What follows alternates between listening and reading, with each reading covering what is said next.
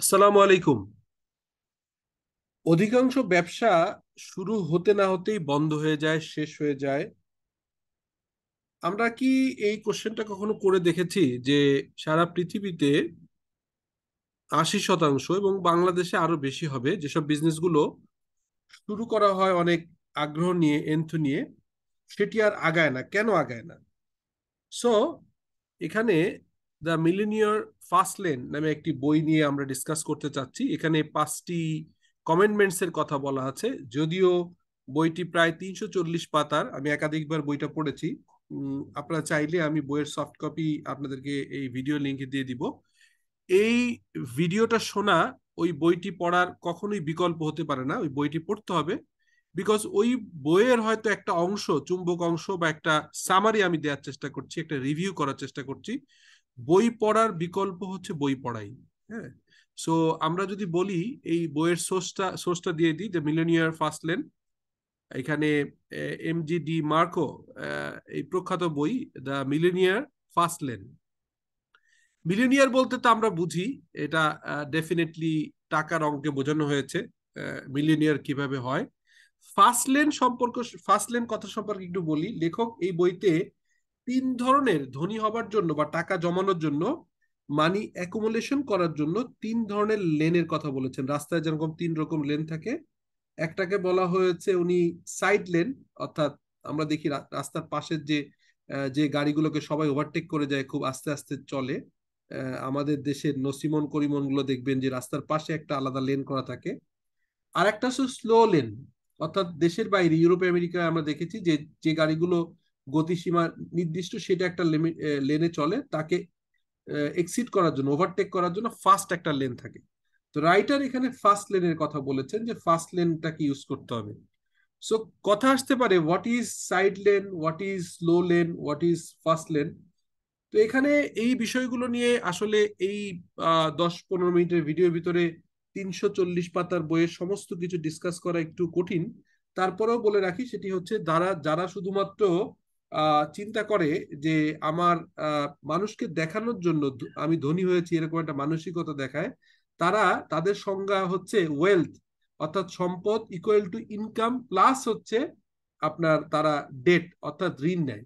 তার মানে তাদের যে বিষয়টা কাজ করে, যেহেতু তারা সমাজের তথাকথিত যে কম্পিটিশন দেখানোর কম্পিটিশন সেখানে এসে তারা যেটা করেন, তাদের ইনকাম যাই থাক না কেন, সেই ইনকামকে অ্যাকুমুলেশন করার চেষ্টা করে সঙ্গে সঙ্গে কন্টিনিউয়াসলি লোন করে তারা অ্যাসেট বাড়ায় এবং মানুষকে দেখায়, আমার গাড়ি আছে, বাড়ি আছে এবং পরবর্তীকালে এটি একটি চ্যালেঞ্জ হয়ে যায় বিকজ এই লোনের বোঝা কন্টিনিউয়াসলি বাড়তেই থাকে। এটিকে লেখক বলেছেন সাইড লেন এরপরে স্লো লেন স্লো লেনের যে সংজ্ঞা দিয়েছেন স্লো লেন বোঝানো হয়েছে যে ওয়েলথ ইকুয়াল টু জব জবের থেকে ইনকাম প্লাস ইনভেস্টমেন্ট অর্থাৎ লেখক এখানে বলেছেন যে এরা খুব বেশি লোন করবেন না কিন্তু তারা যেটা করবেন, একটা নির্দিষ্ট জবে এঙ্গেজ থাকবেন আর ছোট ছোট কিছু ইনভেস্টমেন্ট করবেন। যেমন এফডিআর করা স্টক মার্কেটে ইনভেস্ট করা, আপনার মিউচুয়াল ফান্ডে ইনভেস্ট করা। এটিকে উনি বলেছেন যে slow lane job plus investment fast lane কাকে বোঝানো হচ্ছে, সেই জিনিসটাই হচ্ছে পরবর্তী কয়েকটা স্লাইডে আমি ব্যাখ্যা করার চেষ্টা করব। এখানে বলা হচ্ছে why can not most business succeed কেন আসলে ম্যাক্সিমাম ব্যবসা বড় হতে পারে না? কারণ হচ্ছে তারা এই এই যে ফার্স্ট লেনে চলার চেষ্টা করেন মানে তারা ব্যবসা করতে চেষ্টা করেন, যারা সাইড লেন বা স্লো লেনে নাই, যারা হচ্ছে ফার্স্ট লেনে আসার চেষ্টা করছেন, ব্যবসা করার চেষ্টা করছেন বাট স্টিল তারা ফেল করছেন। কেন? এটা মানসিকতার ব্যাপার। সেই বিষয়টাই লেখক এখানে ডিসকাস করার চেষ্টা করেছে। নো সাকসেস ইন বিজনেস বিজনেসে যদি সাকসেস না আসে, তাহলে আপনার মানি এনার্জি টাইম সবটাই নষ্ট হয়, মানুষ হতাশ হয়ে যায় এবং এই হতাশ, হতাশতার থেকে তার অনেক ধরনের ক্ষতি হয়, তার শারীরিক, মানসিক ক্ষতি হয় এবং পরবর্তীকালে কাজের কর্ম স্পৃহা কমে যায়। সো রাইট ওয়েতে বিজনেস করা ইজ ভেরি ইম্পর্টেন্ট সো আজকে যারা ইয়াং অন্টারপ্রেনিয়ার স্টার্ট আপ তাদের জন্য এই ভিডিওটা বানানো, লেখকের বই থেকে সামারি করা। Misuse of money and money will misuse you আপনি যদি কোনো কারণে টাকা নষ্ট করে ফেলেন মিস ইউজ করেন, তাহলে এই যে মিস ইউজ করলেন যে টাকাটাকে, সেটাই একসময় আপনাকে মিস ইউজ করবে। অর্থাৎ আপনার জীবনের একটা বড় সংকট দেখা দিবে। এই এই এখনকার মূলধনের যোগে যেখানে পুঁজিবাদের সময়, সে সময় এসে আসলে টাকার গুরুত্ব কোনোভাবে অ্যাভয়েড করা যায় অনেকে বলে যে টাকাই হচ্ছে সমস্ত অনিষ্টের কারণ, অর্থই অনর্থের কারণ এটা বলে বাট তারপরেও আমরা জানি এই পুঁজিবাদী সমাজে টাকার প্রয়োজন অত্যন্ত ব্যাপকভাবে দেখা দেয়। এবং এই বিষয়গুলো নিয়ে লেখক কথা বলেছেন। লেখকের বইয়ের মোস্ট অফ দ্য কন্টেন্টের সাথে আমার একমত থাকলেও কিছু কিছু জায়গায় একটু অ্যাম্বিগুইটি আছে। স্টিল আপনার বইটা পড়ে আপনার কমেন্ট করতে পারেন। মানি লেখক বলছেন যে মানি ফ্রিডম বাই করতে পারে।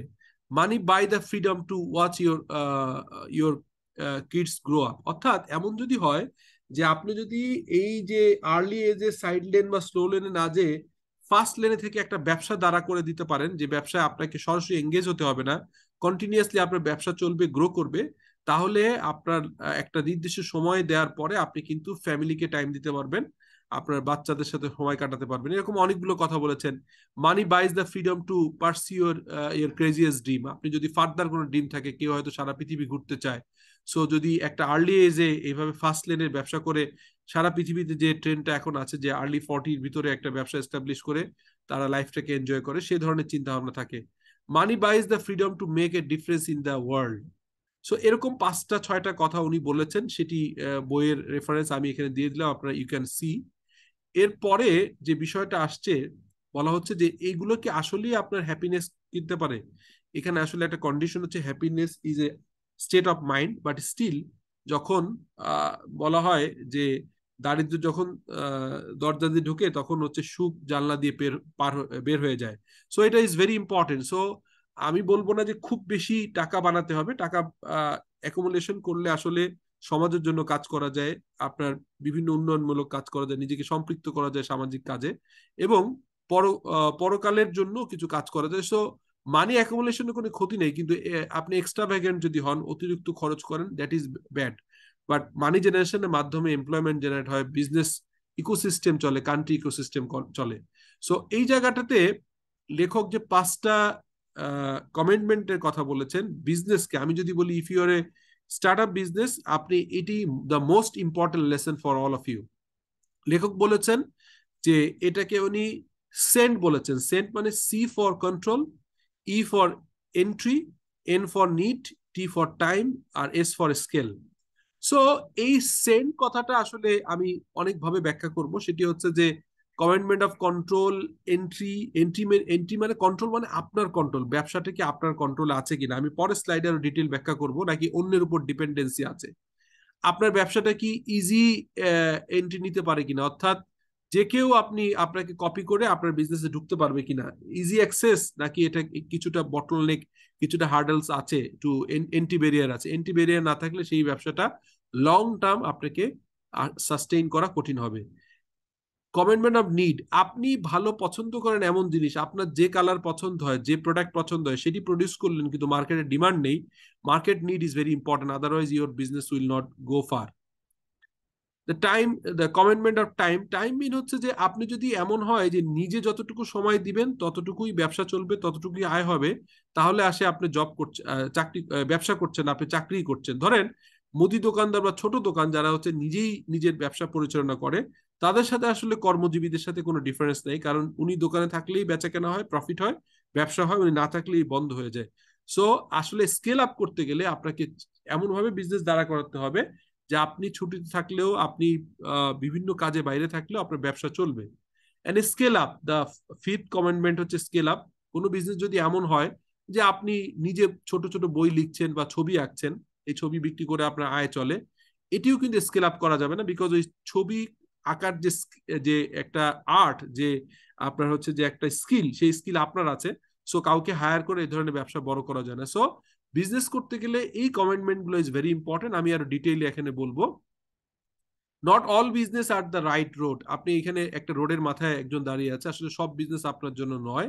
সেটি হচ্ছে কন্ট্রোল থাকতে গেলে control is the best to grow your business আপনি যদি নিজের বিজনেসের কন্ট্রোল নিজের কাছে রাখতে পারেন, তাহলে আসলে আপনি গ্রো করবেন। Don't get depend on single platform for all money আপনি এমন একটা সিঙ্গেল বাস্কেটে টাকা রাখলেন, অনেকেই আমরা প্রায়শই যে কাজটা করে থাকি, সমস্ত সঞ্চয় দিয়ে স্টক মার্কেট বা এরকম জায়গায় ইনভেস্ট করি, তখন যদি স্টক মার্কেটে লস হয় বা এখনকার যেমন ফ্লোর প্রাইসে অনেক টাকা আটকে গেছে, সবার জন্য কিন্তু খুব বিপজ্জনক ঘটনা। Try to make diversify the income source of income take a full control of your business by yourself আপনি যদি নিজের বিজনেসে নিজের কন্ট্রোল রাখতে পারেন, তাহলেই আসলে এই বিজনেসটা সাস্টেইনেবল হবে। এটি গোয়িং কনসার্ন হবে, বছরের বছর আপনার সেকেন্ড থার্ড জেনারেশন এই বিজনেস থেকে উপকার পাবে। সো এই যে কথাটা বলছিলাম if you are starting a small business and you are the employer and employ as well তাহলে সেটা কিন্তু আসলে এই টিনি স্টোর থেকে কিন্তু আপনার বিজনেসকে জবের প্রায় কাছাকাছি বলা যাবে।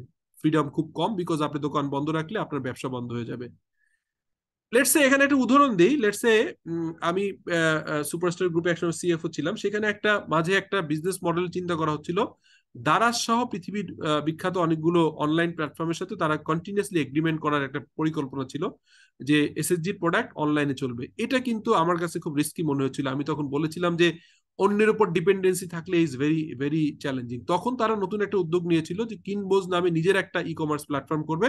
অর্থাৎ নিজের প্রোডাক্ট এবং অন্য প্রোডাক্ট বিক্রি করবে বাট কন্ট্রোল নিজের হাতে থাকবে। সো অন্যের উপরে ফুল ডিপেন্ডেন্সি রাখা ইজ ভেরি ডিফিকাল্ট স্টার্ট করা যায়। আপনি ছোট বিজনেসে দারাজ বা অন্য অন্য প্ল্যাটফর্মের সাথে শুরু করতে পারেন বাট আপনার নিজের প্ল্যাটফর্ম নিজের ডিস্ট্রিবিউশন চেইন নিজের ডিস্ট্রিবিউশন যদি সেট না করতে পারেন, তাহলে লং টার্ম আপনার ডিপেন্ডেন্সি থেকে বেরিয়ে আসতে পারবে না। তারা কোনো কারণে বিজনেসে যদি ডিসডাপশন হয়, তারা যদি বন্ধ করে ফেলে, তারা যদি শিফট করে, আপনি বিপদে পড়ে যাবেন। সো বিসলিউশন নামে একটা আইটি ফার্ম আমাদের আছে।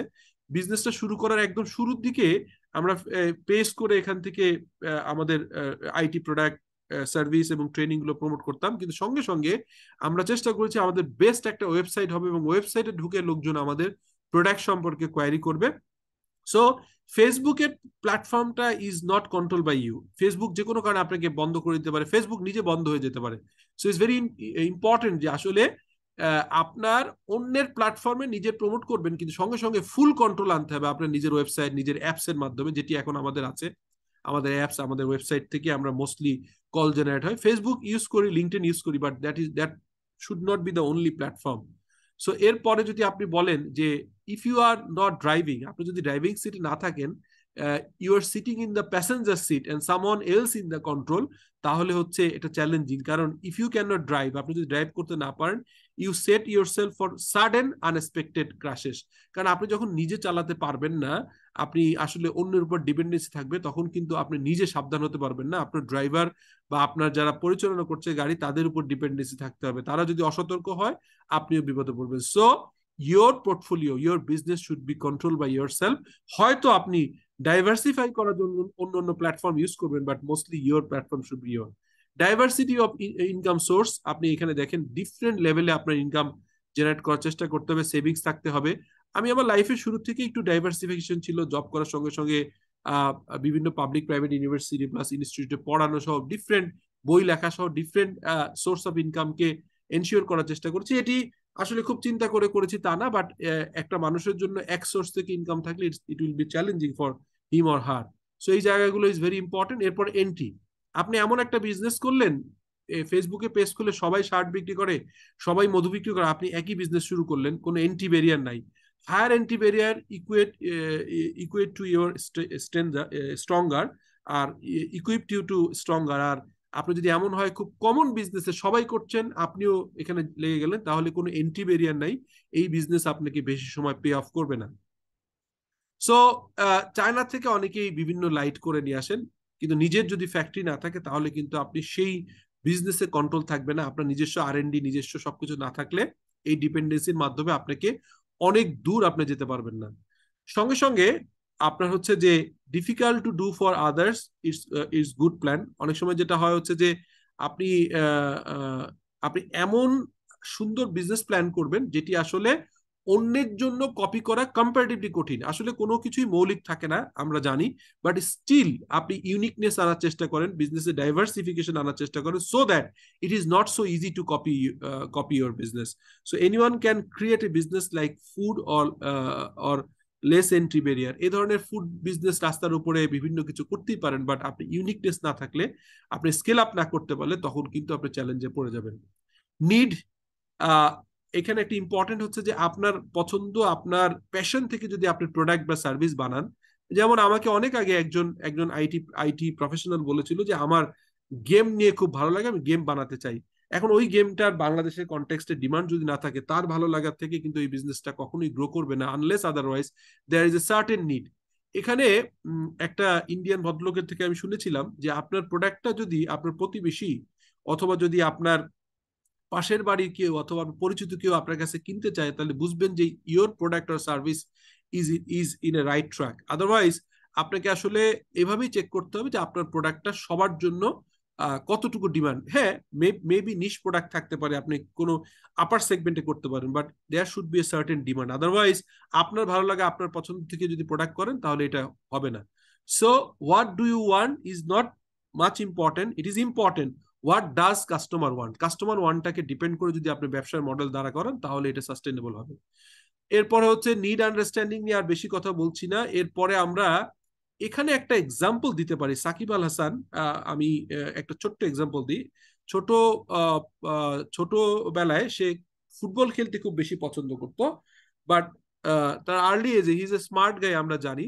আসলে ফর ডু ইউ মানে what do you love is important but important হচ্ছে আসলে অন্যরা কি পছন্দ করে। সো সে ফুটবল খেলা বেশি পছন্দ করতো, কিন্তু তার মাথায় ওই সময় ক্লিক করেছে যে ফুটবলে বাংলাদেশের যে গ্রোথটা বা গ্লোবাল গ্লোবালি যে র্যাঙ্কিং বা যে অবস্থা, এখান থেকে আসলে খুব বেশি অর্থ উপার্জন সম্ভব না এবং ক্রিকেটটা তখন গ্রো করছিল। ওই সময়ে ক্রিকেটে বাংলাদেশে আইসিসি উইন করল, সময়টা ওরকম ছিল।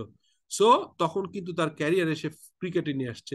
So your love must solve a need and you must be exception at it অর্থাৎ আপনাকে প্রথম হচ্ছে যে আপনি এমন একটা প্রফেশন এমন একটা জায়গা চুজ করবেন যেটা আসলে ডিমান্ড থাকবে এবং সেখানে আপনি এক্সেপশনাল হবেন।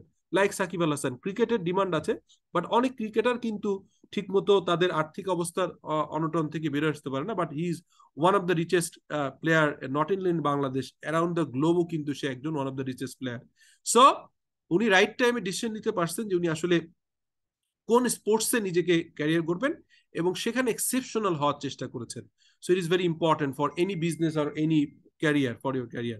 Then time, the fourth commandment, time. Time is very, very important because আপনি যদি কন্টিনিউয়াসলি নিজের জায়গায় নিজের টাইম দিয়ে দেয়া পর্যন্ত ব্যবসা হয় তাহলে আগেই বলেছি সো আসলে এখানে আপনাকে আপনার ব্যবসা করতে গেলে hire someone instead of instead of giving your time আপনার টাইমকে মাল্টিপ্লাই করতে চাইলে আসলে আপনি অনেক লোকজনকে এঙ্গেজ করতে হবে ব্যবসা বাড়ার সঙ্গে সঙ্গে লোকজন এঙ্গেজ করবেন প্রসেস রেডি করবেন এসওপি রেডি করবেন ডেলিগেশন অফ অথরিটি থাকবে ডেলিগেশন অফ ওয়ার্ক থাকবে, তাহলে একসময় আপনি রেস্ট নিলেও, আপনি ছুটিতে গেলেও, আপনি বিভিন্ন ধর্মীয় বা অন্য কাজে এঙ্গেজ থাকলেও আপনার ব্যবসা চলবে তাহলে কিন্তু আপনার ব্যবসা বন্ধ হয়ে যাবে। So time is very important own time এই যে এখানে যে উদাহরণটা দিয়েছেন don't earn money by selling your time if you could not come one day your store will remain close so এই যে রিটেইল নেচারের বিজনেস এগুলো আসলে কখনোই আপনাকে আর্থিক স্বাধীনতা দেয় না ফাইন্যান্সিয়াল ফ্রিডম দেয় না। So very important hire someone instead of giving your time এবং স্মার্ট লোককে চয়েস করেন proper delegation system process SOP driven করে দেন সো দ্যাট সিস্টেমের বাইরে থেকে তারা যেন কোনো আনডিউ বেনিফিট না নিতে পারে। কন্ট্রোল মেকানিজম আপনার হাতে রাখেন রিপোর্টিং সিস্টেম চমৎকার করে দেন, কিন্তু নিজে সব কাজ করতে যেন না, তাহলে কিন্তু এই বিজনেস গ্রো করবে না। Delegate works is very important and obviously automation করার চেষ্টা করেন। বিজনেস যখন আস্তে আস্তে বাড়বে can this can this business be automated by system system systemize to operate while your you are absent এই যে আপনার এখন এসিপি বিওয়ান সফটওয়্যার আসছে, খুব অল্প টাকায় ইমপ্লিমেন্ট করা যায়। আজকে যারা সমস্ত কিছু নিজের হাতের তালুতে দেখতে চান, তাদের জন্য কিন্তু এ ধরনের ইআরপি ইন্টিগ্রেটেড ইআরপি আছে। অনেক লো কস্টে এখন পাওয়া যায়। আপনি দেশের বাইরে আছেন ছুটিতে কোনো প্রবলেম নেই। You can see your business growth your collection your financial statement even আপনার daily sales and other things is very much easy আমরা বি সলিউশন থেকে এই ধরনের অনেক ধরনের সফটওয়্যার প্রোভাইড করে থাকি। So then the first the last one scale up so আপনাকে এমন একটা ব্যবসা চুজ করতে হবে যেটা আসলে স্কেল আপ হয়।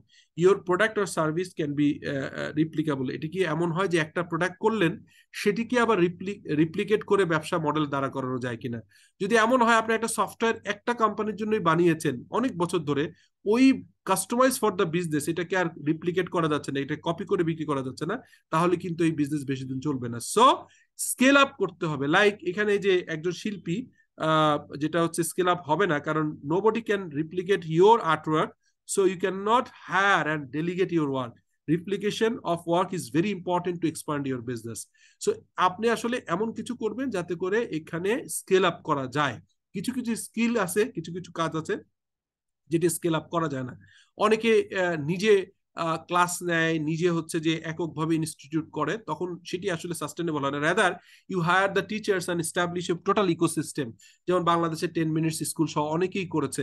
আমাদের প্ল্যাটফর্মে আমরা এডু টিভি নামে একটা প্ল্যাটফর্ম আছি যেখানে হাজার ধরনের লেকচার থাকবে উইথ ডিফারেন্ট স্কিল সেট এবং তাদের ডিফারেন্ট প্রফেশনালদের থাকবে এবং সেই এডু টিভির মাধ্যমে আমরা আসলে আমার যে ট্রেনিং ক্যাপাসিটি আমি জানি স্কিল আপ করা যাবে না। আমি হয়তো নিজের পার্সোনাল ইউটিউবে আপনাদেরকে free lecture free knowledge share করতে পারব বাট এটাকে স্কেল আপ করতে গেলে উই শুড স্টাবলিশ ইকোসিস্টেম যে কারণে AD TV within fifteen days আসছে, যেখানে আসলে প্রফেশনালসদের জন্য সমস্ত কোর্স এবং গ্র্যাজুয়ালি আমরা একদম একাডেমিক পর্যায়ে নিতে দিতে চাইব। কারণ একাডেমিক পর্যায়ে যদি আমরা ঠিক করে না আসতে পারি অর্থাৎ ইন্টারমিডিয়েট লেভেল বা এসএসসি লেভেলে যদি প্রপারলি প্রফেশনালসদের তৈরি করার যে বেস দরকার, সেটা ঠিক না করতে পারলে আসলে আমরা পরবর্তীকালে গুড প্রফেশনাল ক্রিয়েট করতে পারি না যারা বিজনেসকে হেল্প করে। সো এই ধরনের এক্সপানশনের জন্য আসলে scale up is very important আপনি চার, পাঁচটা, ছয়টা ক্লায়েন্ট নিয়ে যদি আপনি সন্তুষ্ট থাকেন হ্যাঁ ইজ গুড মেবি আপনার গোল তাই হতে পারে। But scale up scale up করতে গেলে আপনার হান্ড্রেডস অফ ক্লায়েন্ট থাকতে হবে স্যাটিসফাইড ক্লায়েন্ট এবং এখানে আপনাকে একটা ইকোসিস্টেম দাঁড়াতে হবে যাতে করে শুধু আপনি না, আপনার একটা টিম কাজ করে team work is very important so এই যে বইটি আমার আমার মনে হচ্ছে যে বিজনেসের জন্য one of the best book because এখানে বিজনেসের যে পাঁচটা কমেন্টমেন্ট বলছে, এর বাইরে অনেক কিছু আছে। আমি যেটা বললাম যে টেন টোয়েন্টি পার্সেন্ট হয়তো কাভার করতে পারলাম এই সময়ের ভিতরে। দ্য মিলিনিয়ার বইটা বললেই বোঝা যায় এবং ফার্স্ট লেনের ব্যাখ্যাটা লেখক এম জে ডি মার্কো যেভাবে ব্যাখ্যা করেছেন I really like the explanation from him so আমার মনে হয় যে you can read this book এটার অডিও বুকও আছে। So it will help to grow your business to enhance the skill of your entrepreneurship এবং আপনার অন্য অন্য প্রফেশনাল হিসেবেও আপনার স্কিল বাড়াতে সহায়তা করবে। থ্যাংক ইউ টেক কেয়ার আসসালাম